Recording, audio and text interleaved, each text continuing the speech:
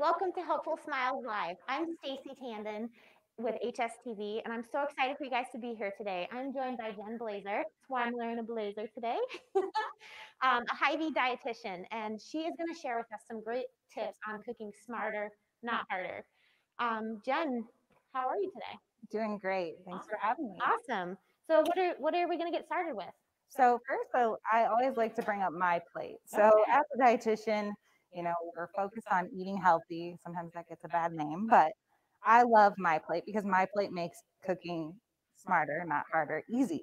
So this replaced the food guide pyramid that so many of us are familiar Mhm. with. I remember that. Kids that are watching at home, I know you've seen this in schools. So this makes eating easy because we eat off of plates. So what better way to model how we should eat than by using a plate? So the basic concepts are very basic. We want to fill half of our plate with fruits and vegetables and half of our plate with our grains and our protein. And with protein, we're focusing on lean protein options. And with grains, we want to try to make those grains whole grains at least half of the time. Now, for the kids at home, they're probably saying something's missing from this My Plate. We are missing the little cup for dairy. So, dairy is absolutely important as well. But so many great things can be said about this My Plate method. Okay. So like that looks a little smaller. That looks more like this, which is like a salad plate. It just feels maybe a little smaller than what we're used to eating dinner on. Absolutely. So, our plate size has grown exponentially in the last several years, but this would be considered a salad plate to most people. But one of the basic concepts we talk about as dietitians is portion control, and everything fits in moderation. So, portion control is key to that.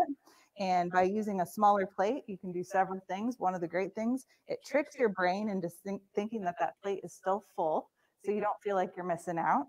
And it, there's just so many great benefits to the My Plate. Okay, cool. So you're going to talk a little bit about how to use that as we're making up some fun recipes Yeah. today, right? Yeah, absolutely. Okay, so cool.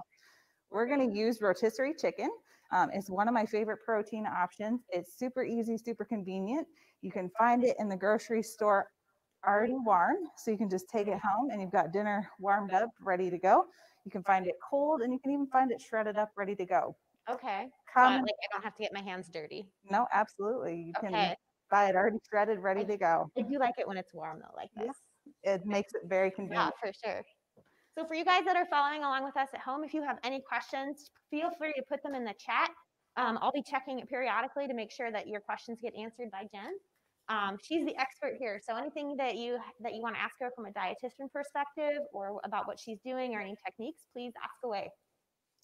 So one of the things that can shy people away from rotisserie chicken is not knowing what to do with the rotisserie chicken once you get it out of the package.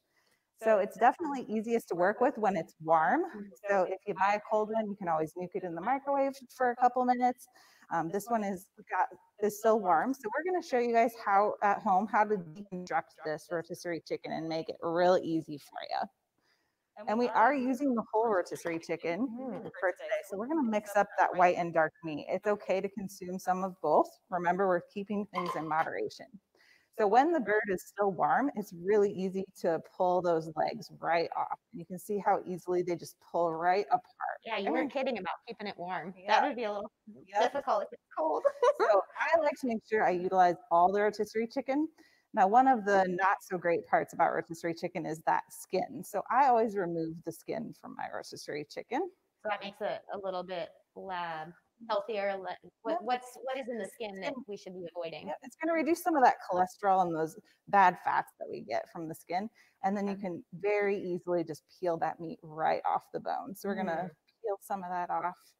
This is the dark meat. and This is my husband's favorite part of the chicken. It's always a fight between him and the kiddos to see who's going to get the legs.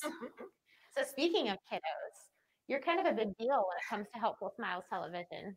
Um, you have your own show, right? Yes. Um, so my daughter Penelope, she's four.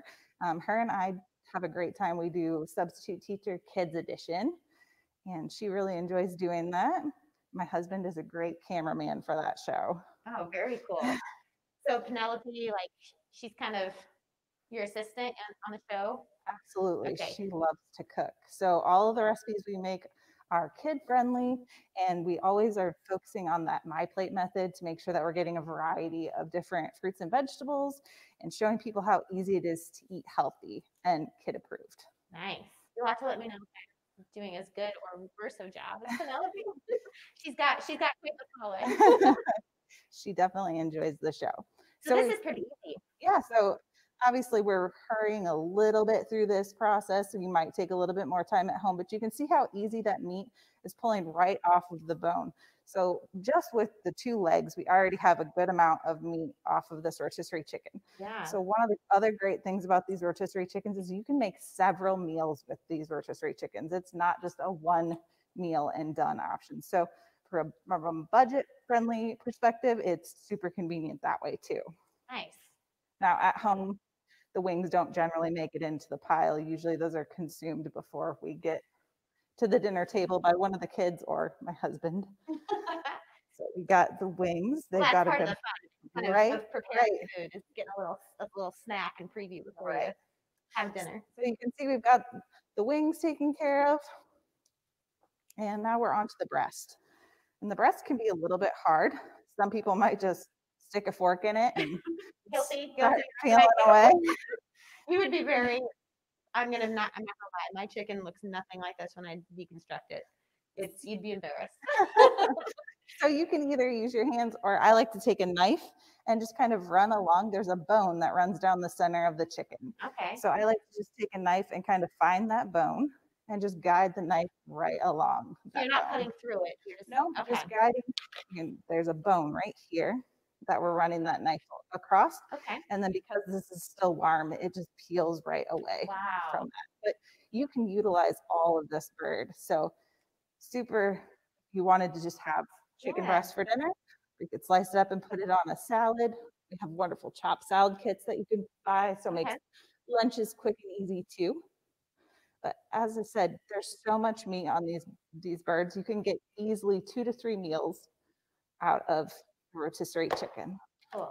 So chicken, like from a protein standpoint, is like it's pretty lean, right?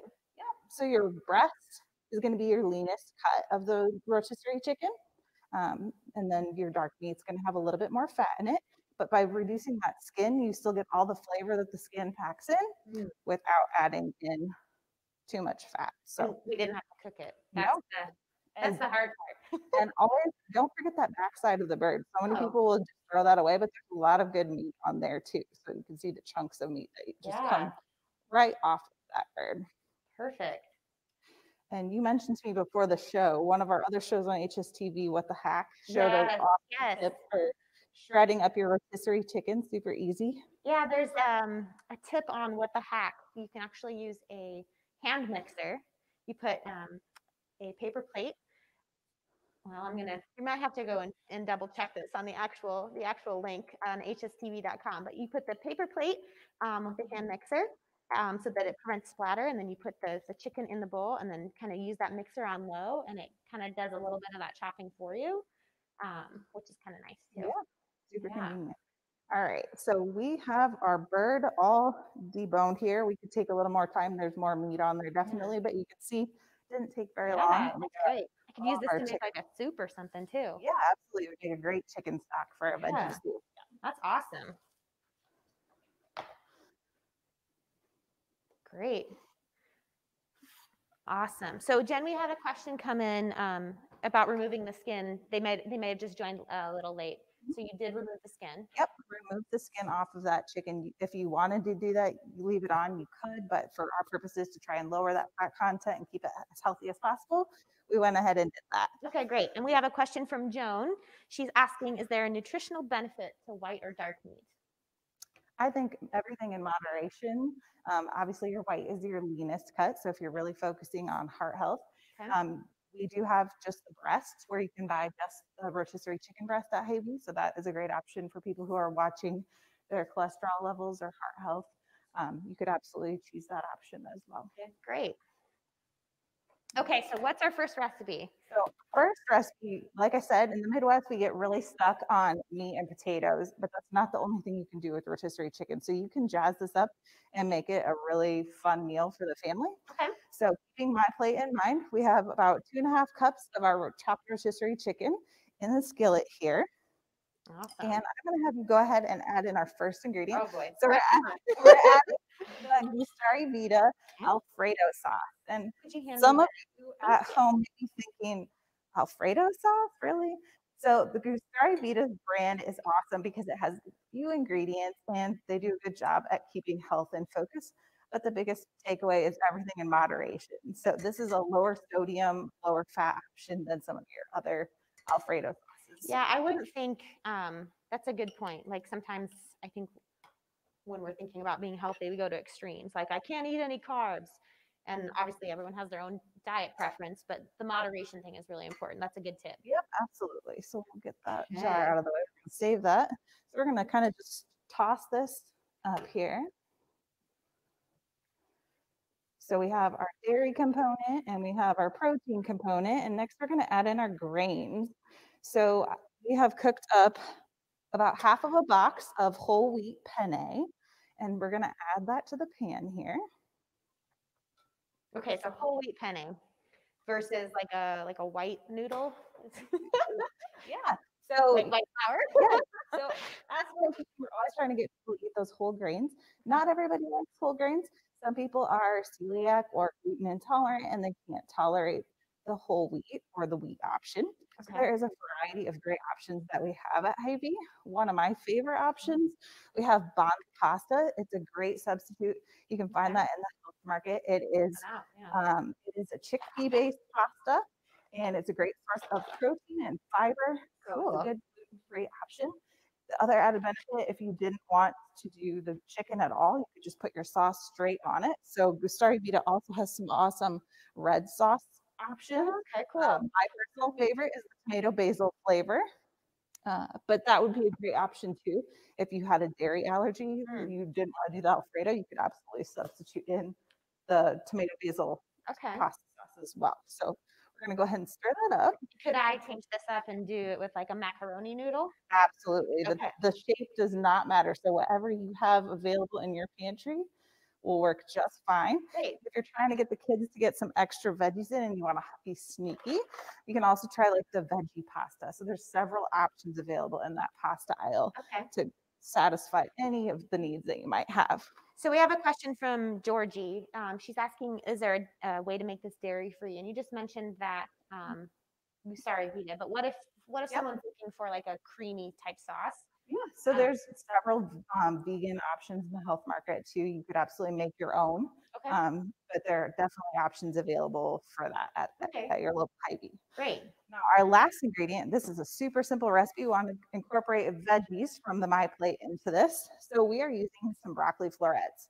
Now, most people think broccoli florets, they think, man, that's a lot of work to cook that up. Well, Mhm. Hy-Vee has these awesome broccoli florets that you can find in the produce department.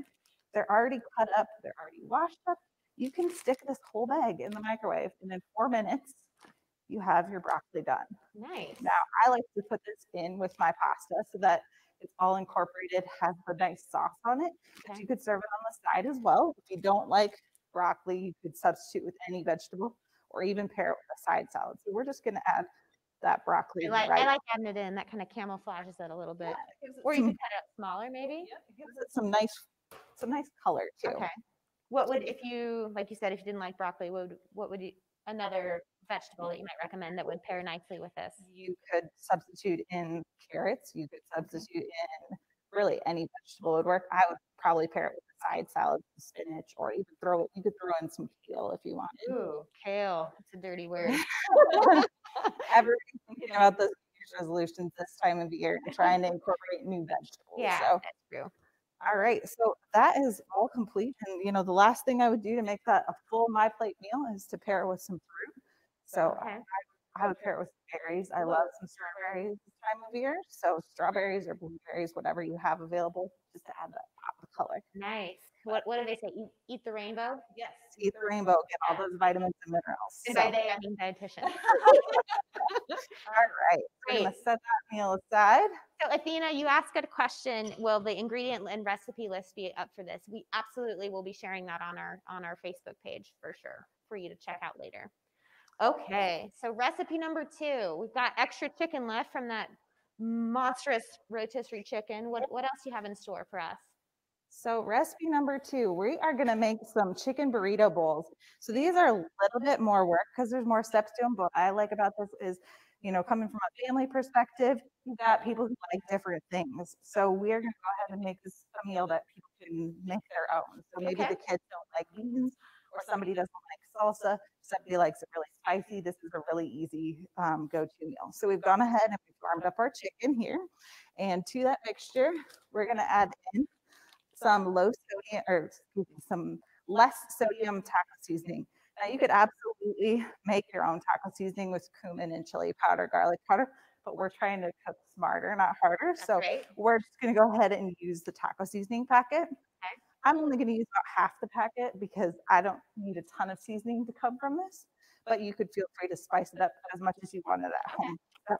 I'll have you go ahead and mix this up. We're gonna add in about a fourth of a cup of water just to give it a little bit of juice to combine well. That sounds good. Thank you, Nadir. So you've mentioned a couple times, Jenn, about sodium. Is that, um, I know salt adds a lot of flavor, but is there, what's, what's the harm, I guess, or, or benefit looking for low sodium things? So a lot of us eat way too much sodium. The average American eats two to three times the recommended amount of sodium in a day. Um, American Heart Association recommends that we get 2,300 milligrams or less of sodium per day. Wow, okay. shopping a- a lot of processed or pre-prepared foods, they've already got sodium in them. So just doing our part to limit them where we can. Okay, so it's added already in some of the stuff we might get in a can or like that packet you, that we just mixed in. Okay. How'd I do? Is that okay? Great. So we have our mixture all stirred up and it's all ready to assemble our burrito bowls. Mm, So um, there are a lot of options when it comes to burrito bowls. You could put it with some brown rice, which is what we're going to do. We've cooked up some instant brown rice. Um, you could put it on a tortilla. Huh? My personal favorite, I like to use the Mission Carb Balance tortillas. These are a great low carb option that taste great, and the sun dried tomato basil is fabulous. So definitely encourage you to give that a try. Great. For the carb conscious, you could put this over a bed of cauliflower rice, which you can find now in the produce department. You can also find it in the freezer section. So there again, some easy, quick, pop it in the microwave and you're done. Yeah, smarter, not harder. Yeah. We also have Uncle Ben's rice in a bag, which you could pop in the microwave too. So if you make this and then the next day you're taking it to work for leftovers, you've got easy, quick options to get that rice that's nice and hot. Great. So we're gonna what if I didn't want the, what if I, if I use like lettuce or spinach, like as, as my base? absolutely you can beef it up and make it into a good salad too. Ooh, all right, So we're gonna bring over some of our other toppings for our burrito bowl here. all right. So like So I I know that, sorry, sorry to interrupt you. I gotta, I gotta make sure people are getting accustomed to that. Um, this, let's, let's just assume like an, uh, like a viewer would be watching this at home and like they buy this chicken, but they don't eat it all right away, right? Like Yep. it's prepare meals for later. So Joan has a question. How long um, will a rotisserie chicken keep in the fridge? So I would say probably once you've pulled it off the skin and or, and bones and gotten it all prepared, I would eat it probably within three to four days. Okay. It's not going to last that long because it's such a convenient option, Mm. and there's so many things you can do with it that I there's no way it would stay that long in my eat it up, right? refrigerator. exactly, it's too convenient. So. Um, other toppings that we have to go with our chicken mixture here, we've got some salsa, which is great. It's going to give you some tomatoes. We have one of my favorite substitutions that we use frequently on Substitute Teacher, plain Greek yogurt, great substitute for sour cream because it is lower in fat and it's also got some protein benefit to it. And are there dairy, just to be mindful, Yeah. are there dairy-free options for this? Absolutely, um, so delicious. Kite Hill, there's several different brands that have dairy-free yogurt options. Great. Uh, we also are going to use some black beans in today for our burrito bowls, and we're using the no salt added black beans. So they're again keeping the salt in mind because we don't really need that extra salt in our diet. You could substitute those for kidney beans or pinto beans, garbanzo beans. There's a lot of different options in that. Is that is another word for bean lentil? What's the difference between a bean and a lentil? So lentils are a little, lentils are a little bit different, but they're similar family, similar benefits with all the protein and the fiber that they provide. So great for the people who are trying to increase their plant protein, be uh-huh. more plant focused. So the bean or the lentil is more Both. Both. Oh, yeah, Oh, okay. both are great options. Plant focus so means more fiber. Okay, Fiber great. and Great. Okay. Uh, another option or another topping that we're using today, we're using the 2% milk cheddar cheese. And I want to point out that we're using sharp cheddar cheese today. Mm. The reason we're using sharp cheddar is because I don't know about you, but I love cheese and I have a mm-hmm. tendency to throw way too much cheese on food. And so sharp cheddar is going to give you all that cheese flavor without needing to go overboard on our toppings. So we're going to put some of that on our bowls today as well. A good moderation tip. Mm-hmm. Absolutely. And then our other ingredient that I'm a huge fan of is avocados. Now, I know mm-hmm. avocados aren't something that everyone loves and some people can't have them. I would love to have them. I'm actually allergic to avocado, which is kind of a strange allergy, but I hear so many great things about them. They are such a good source of fiber and other benefits. You know, they're a healthy fat. Did you know they're actually a fruit? Really? So they have a pit inside of them. So that's what makes them a pit or a fruit because they grow on oh. trees. Well, okay. So on the my plate. Yeah. Okay. All right. I'm getting it. I'm getting it. Um, so right now we have the avocado. And did you know that avocados are actually one of the most accident causing fruits and vegetables? like people like slice their hand open. Yeah. people Slice their hand open. It's a common trip to the ER. So instead of using instead of using a sharp knife, um, we're just going to use this handy dandy avocado tool. But you could also use a butter knife at home. And as long as your avocado is ripe, you can slice right into it. And you always I tell That's right. Yeah, so if you um, pick up your avocado, which I should have done that before I started cutting, but if you pick up your avocado and you just give it a little pinch, it should squeeze lightly. Okay. So there's Wow, avocado. Cool. Now, oh. we don't need all this avocado today, so we're gonna leave the pit in this side, and this way it will preserve itself a little bit more in the refrigerator. Oh, So cover it with some saran wrap, stick it in the fridge, and it's ready to go in the morning for avocado toast or avocado on eggs. You could even take that leftover avocado, mix it with some rotisserie chicken, and make a chicken salad. Okay. So lots of options with that. Nice. And then we can just simply slice into the rest of the avocado. And we've got our toppings ready. So we're ready to assemble our burrito bowls. Okay. I'll get the plates or the bowls. Would you like the teal bowl or green bowl? I'll take the green bowl. Okay. All right. So I'm going to put some rice in mine. I don't know. Do you want rice in your bowl? Yes, please. That would be great. So keeping in mind portion size, we're going to do about half a cup to three fourths of a cup of this brown rice in each bowl. So Okay. okay. remembering that my plate and Seasons has some wonderful tips this month for how we need to use our hands. Yeah, I saw that in the latest um, issue. Something about fists and thumbs and pinkies. Yep, and- yep. So fists is a good way to kind of judge your fruits and vegetables on the correct portion size. Your thumb is good for about a tablespoon, so it's common measurement for things like peanut butter, Okay. be a healthy fat. And Yeah. then the tip of your pinky from your first knuckle up is for things like butter, So, Hmm. Smaller, like a one teaspoon size. portion. Wow, that's a teaspoon. Yeah. Okay. You So can I use guess your hands as a tool Yeah, that's a that's a great tip. So my plate, my hand. Now, a serving of your chicken is usually around three to four ounces. So we're gonna go ahead and put a little bit of chicken in the, my bowl. Are you gonna put chicken in your bowl? Yeah. Um, so I really, I'm like a big protein fan. So like, I'm just trying to think about maybe a little bit more protein for me. Yeah. So we'll put some chicken in your bowl. Now Ah. feel free to take whatever toppings you Okay, think might go good in yours. I think I'm gonna do some salsa. I'm a big fan of beans, so I want all that fiber. We don't get enough fiber. So we're gonna tap. A mild salsa. I might even add some jalapenos. Yeah, I'm a, absolutely. I'm a big spice guy. You could also fan. jazz the rice up, add a little bit of lime juice and some- cilantro. Absolutely. Okay. Ugh, that's other thing. Man, I'm just like the worst. I, I think I have that gene where cilantro makes it, things taste like soap. Well, some not everybody loves cilantro, so absolutely personalize these. You know, add hot sauce, jalapenos. You can even add like Mexican corn on top of. Ooh, yeah. Whatever works for your family. But super great, super easy recipe because you can make it your own. So, Okay. you know, if kiddos don't like beans, you can Yeah. they can leave them out. Somebody really likes cheese, they can add extra. So can't go wrong with these burrito bowls, and they are so convenient. So, So instead of my, that, we have burrito bowl ooh, that's night. fun. How's my portion control so far? That looks great. That looks great. Okay. Yeah. I mean, I might add a little bit of cheese. Um, Jenn, on that avocado, I know, I don't know if you're gonna add that to yours. Um, what's, why does keeping the pit in there keep that fresh? You know, I don't have a good answer for that. Okay. That's just one of those tips that I've learned over the years, Okay. and I'm not really sure. Okay, cool. But I trust you. I promise it works. So I'm gonna add a little avocado to my bowl here. So it's got a nice little bit of color. So Nice. we're all ready to dig in. Oh, look that's pretty awesome. awesome. Getting You guys see this? This looks great. If Only they could smell it, right? Yeah, for sure. We can't, we can't eat it with our masks on, but we can later. Yeah. And once we're socially distanced. Yes, So absolutely. Awesome.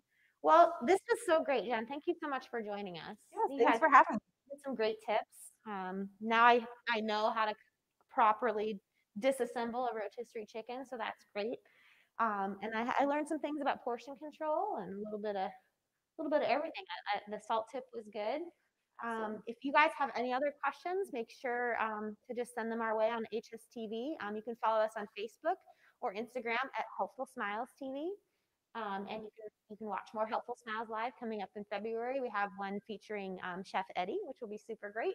Um, and Jenn has her own show called Substitute Teacher Kids Edition, where she shares a lot of helpful tips about making substitutions and helping to feed your family. So thanks again, Jenn, for joining us. Yeah, thanks for having me. All right, everyone, stay out there. Thanks. Have a great night.